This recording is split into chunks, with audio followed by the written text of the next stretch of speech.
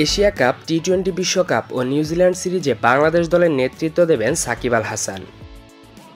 শনিবার বিকালে বিসিবির ক্রিকেট অপারেশনস কমিটির নতুন চেয়ারম্যান জালাল ইউনুস এ তথ্য জানিয়েছেন। এর আগে বিকাল তিনটা এগারো মিনিটে বিসিবি সভাপতি নাজমুল হাসান পাপনের বাসভবনে যান সাকিব আল হাসান। সেখানে অধিনায়কত্বের ইস্যুতে নাজমুল হাসান পাপনের বাসায় বৈঠকে বসেন তিনি। বৈঠকে উপস্থিত ছিলেন দুই পরিচালক খালেদ মাহমুদ সুজন ও জালাল ইউনুস। সঙ্গে ছিলেন দুই নির্বাচক মিনহাজুল আবেদিন নান্নু ও হাবিবুল বাসা সুমন। বিকাল চারটার পর শুরু হয় এই বৈঠক। পরে বিসিবির ক্রিকেট অপারেশনসের চেয়ারম্যান জালাল ইউনুস জানান, আসন্ন এশিয়া কাপ নিউজিল্যান্ডে ত্রিদেশীয় সিরিজ এবং বিশ্বকাপের জন্য অধিনায়ক করা হয়েছে সাকিবকে।